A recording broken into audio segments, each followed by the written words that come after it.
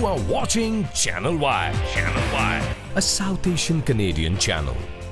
ਹੁਸ਼ਿਆਰਪੁਰ ਦੇ ਦਸੂਹਾ ਵਿੱਚ ਆਪ ਪਾਰਟੀ ਵੱਲੋਂ ਗ੍ਰਾਮ ਸਭਾ ਦਾ ਆਯੋਜਨ ਝਿੰਗੜ ਕਲਾਂ ਵਿੱਚ ਕੀਤਾ ਗਿਆ। ਇਸ ਮੌਕੇ ਆਪ ਦੇ ਸੂਬਾ ਪ੍ਰਧਾਨ ਤੇ ਸੰਸਦ ਮੈਂਬਰ ਭਗਵੰਤ ਮਾਨ ਦੇ ਨਾਲ ਵਿਰੋਧੀ ਧਿਰ ਦੇ ਨੇਤਾ ਹਰਪਾਲ ਚੀਮਾ ਮੁੱਖ ਤੌਰ ਤੇ ਮੌਜੂਦ ਰਹੇ। ਇੱਥੇ ਜਨ ਸਭਾ ਨੂੰ ਸੰਬੋਧਨ ਕਰਦਿਆਂ ਭਗਵੰਤ ਮਾਨ ਨੇ ਕਾਂਗਰਸ ਤੇ ਅਕਾਲੀ ਦਲ ਤੇ ਕੇਂਦਰ ਸਮੇਤ ਹੀ ਭਾਜਪਾ ਸਰਕਾਰ ਨੂੰ ਨਿਸ਼ਾਨੇ ਤੇ ਲੈਂਦਿਆਂ ਕਿਹਾ ਕਿ ਕੇਂਦਰ ਦੀ ਮੋਦੀ ਸਰਕਾਰ ਨੇ ਪੰਜਾਬ ਦੇ ਕਿਸਾਨਾਂ ਨਾਲ ਪੰਗਾ ਲਿਆ ਹੈ। ਉਹਨਾਂ ਕਿਹਾ ਕਿ ਪੰਜਾਬੀ ਸ਼ੇਰਾਂ ਨਾਲ ਮੁਕਾਬਲਾ ਕਰਦੇ ਆਏ ਹਾਂ, ਇਸ ਲਈ ਕੇਂਦਰ ਸਰਕਾਰ ਨੂੰ ਕਿਸਾਨ ਵਿਰੋਧੀ ਬਿੱਲਾਂ ਨੂੰ ਵਾਪਸ ਲੈਣਾ ਹੀ ਪਵੇਗਾ।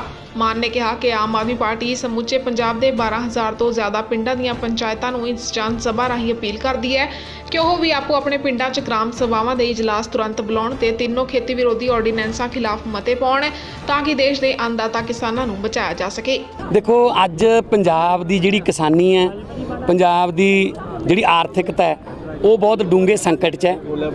ਕਿਸਾਨ ਸੜਕਾਂ ਤੇ ਹੈ, ਮ- ਖੇਤ ਮਜ਼ਦੂਰ ਸੜਕਾਂ ਤੇ ਨੇ ਆੜਤੀ ਨਾਲ ਬੈਠੇ ਨੇ, ਨੌਜਵਾਨ ਮੁੰਡੇ ਬਹੁਤ ਭਾਰੀ ਗਿਣਤੀ 'ਚ ਨਾਲ ਨੇ, ਕਲਾਕਾਰ ਸਾਥ ਦੇ ਰਹੇ ਨੇ, ਹਰ ਵਰਗ ਦਾ ਬੰਦਾ ਜਿਹੜੇ ਪੰਜਾਬ ਦੀ ਧਰਤੀ 'ਚ ਉੱਗੇ ਹੋਏ ਅਨਾਜ ਦੀ ਇੱਕ ਬੁਰਕੀ ਵੀ ਖਾਧੀ ਹੈ, ਪੰਜਾਬ ਦੀ ਧਰਤੀ ਦੇ ਪਾਣੀ ਦੀ ਇੱਕ ਘੁੱਟ ਵੀ ਪੀਤੀ ਹੈ, ਤਾਂ ਉਹ ਉਹ ਆਪਦਾ ਫਰਜ਼ ਸਮਝ ਰਿਹਾ ਕਿ ਮੈਂ ਇੱਥੇ ਜਿਹੜਾ ਵਿਰੋਧ ਕਰਾਂ ਔਰ ਬਣਦਾ ਵੀ ਹੈ। ਆਮ ਆਦਮੀ ਪਾਰਟੀ ਵੀ ਪਹਿਲੇ ਦਿਨ ਤੋਂ ਵਿਰੋਧ ਕਰ ਰਹੀ ਹੈ। ਇਹਨਾਂ ਬਿੱਲਾਂ ਦਾ ਜਦੋਂ ਇਹ ਆਰਡੀਨੈਂਸ ਸੀ ਉਦੋਂ ਤੋਂ ਲੈ ਕੇ ਕਿਸਾਨਾਂ ਨੇ ਟਰੈਕਟਰ ਮਾਰਚ ਕਰਿਆ ਸੀ, ਉਹਨਾਂ ਸਾਥ ਦਿੱਤਾ। ਆ ਉਹਨਾਂ ਨੇ ਪੰਜਾਬ ਬੰਦ ਦਾ ਸੱਦਾ ਦਿੱਤਾ ਸੀ, ਸਾਥ ਦਿੱਤਾ। ਮੈਂ ਖੁਦ ਉੱਥੇ ਭਵਾਨੀਗੜ੍ਹ ਧਰਨੇ ਜਾ ਕੇ ਬੈਠ ਕੇ ਆਇਆ। ਮੈਂ ਕੋਈ ਭਾਸ਼ਣ ਨਹੀਂ ਦੇ ਕੇ ਆਇਆ ਉੱਥੇ। ਔਰ ਫਿਊਚਰ ਦੇ ਵਿੱਚ ਵੀ ਕਿਸਾਨ ਜਥੇਬੰਦੀਆਂ ਜੋ ਵੀ ਪ੍ਰੋਗਰਾਮ ਦੇਣਗੇ, ਜਿਵੇਂ 3 ਨਵੰਬਰ ਦਾ ਉਹਨਾਂ ਨੇ ਬੰਦ ਦਾ ਸੱਦਾ ਦਿੱਤਾ ਅਸੀਂ ਉਹਨਾਂ ਦੇ ਪੈਰਲਲ ਕੋਈ ਪ੍ਰੋਗਰਾਮ ਨਹੀਂ ਕਰਨਾ। ਆਹ ਪ੍ਰੋਗਰਾਮ ਵੀ ਜਿਹੜਾ ਉਹਨਾਂ ਦੀ ਸਪੋਰਟ ਕਰਨ ਲਈ ਦੱਸਣ ਵਾਸਤੇ ਹੈ ਕਿ ਤੁਸੀਂ ਸੁਣਿਆ ਹੋਣਾ, ਅੱਜ ਮੈਂ ਵੀ ਇਹੀ ਕਿਹਾ ਕਿ ਜਾਓ, ਕੋਈ ਝੰਡਾ ਨਹੀਂ ਲੈ ਕੇ ਜਾਣਾ, ਕੋਈ ਮਫਲਰ ਨਹੀਂ ਪਾਉਣਾ ਪਾਰਟੀ ਦਾ, ਕੋਈ ਜਿੰਦਾਬਾਦ ਨਹੀਂ ਕਰਨੀ ਪਾਰਟੀ ਦੀ।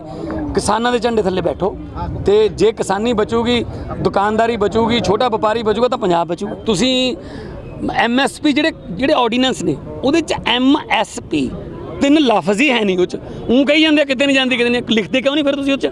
ਸੋ ਇਹ ਤਾਂ ਜ- ਬਿਲਕੁਲ ਸਿੱਧਾ ਮਤਲਬ ਕੋਆਪਰੇਟ ਦੇ ਹੱਥਾਂ ਨੂੰ ਮਜ਼ਬੂਤ ਕਰਨ ਵਾਲਾ ਤੇ ਖੇਤੀ ਨੂੰ ਉਹਨਾਂ ਦੇ ਹੱਥਾਂ 'ਚ ਦੇਣ ਵਾਲਾ ਬਿੱਲ ਹੈ।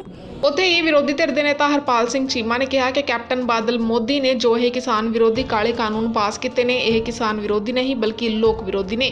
ਕਿਉਂਕਿ ਇਹਨਾਂ ਕਾਨੂੰਨਾਂ ਨਾਲ ਕਿਸਾਨ ਤਾਂ ਬਰਬਾਦ ਹੋਵੇਗਾ ਹੀ। ਉੱਥੇ ਹੀ ਆੜਤੀਆ, ਮੁਨੀਮ, ਪੱਲੇਦਾਰ ਟਰਾਂਸਪੋਰਟ, ਛੋਟੇ ਦੁਕਾਨਦਾਰ, ਕਾਰੋਬਾਰੀ ਦੇ ਨਾਲ ਨਾਲ ਇੱਕ ਸਮਾਂ ਅਜਿਹਾ ਆਵੇਗਾ ਕਿ ਸਾਰੇ ਹੀ ਵਰਗ ਬੇਰੁਜ਼ਗਾਰ ਹੋ ਜਾਣਗੇ। ਦੇਖੋ, ਅੱਜ ਜੇਕਰ ਸਾਡੇ ਪੰਜਾਬ ਦਾ ਅੰਨਦਾਤਾ ਮਰ ਗਿਆ, ਜੇਕਰ ਜਿਹੜਾ ਸਾਡਾ ਪੇਟ ਭਰਦਾ ਕਿਸਾਨ ਉਹ ਮਰ ਗਿਆ, ਉਹਦੇ ਨਾਲ ਖੇਤ ਮਜ਼ਦੂਰ ਮਰ ਗਿਆ, ਤਾਂ ਕੌਣ ਬਚੂਗਾ ਪੰਜਾਬ ਵਿੱਚ? ਸਭ ਤੋਂ ਪਹਿਲਾਂ ਕਿਸਾਨ ਨੂੰ ਬਚਾਉਣ ਦੀ ਲੋੜ ਆ ਖੇਤ ਮਜ਼ਦੂਰ ਨੂੰ ਬਚਾਉਣ ਦੀ ਲੋੜ ਆ ਸੋ ਅੱਜ ਆਮ ਆਦਮੀ ਪਾਰਟੀ ਵੱਲੋਂ ਗ੍ਰਾਮ ਸਭਾ ਬਚਾਓ ਬੁਲਾਓ ਕਿਸਾਨ ਬਚਾਓ ਹਰ ਅਸੀਂ ਹਰੇਕ ਪਿੰਡ 'ਚ ਜਾ ਰਹੇ ਹਾਂ ਪਿੰਡ ਦੇ ਸਰਪੰਚਾਂ ਨੂੰ ਬੇਨਤੀ ਕਰ ਰਹੇ ਹਾਂ ਕਿ ਗ੍ਰਾਮ ਸਭਾ ਬੁਲਾਓ ਕਿਉਂਕਿ ਗ੍ਰਾਮ ਸਭਾ ਇੱਕੋ ਤਾਕਤਵਰ ਇਕਾਈ ਆ ਜਿਹੜੀ ਕਿਸੇ ਕਾਨੂੰਨ ਨੂੰ ਰੱਦ ਕਰ ਸਕਦੀ ਹੈ ਜਿਹੜੀ You are watching Channel Y. Channel Y, a South Asian Canadian.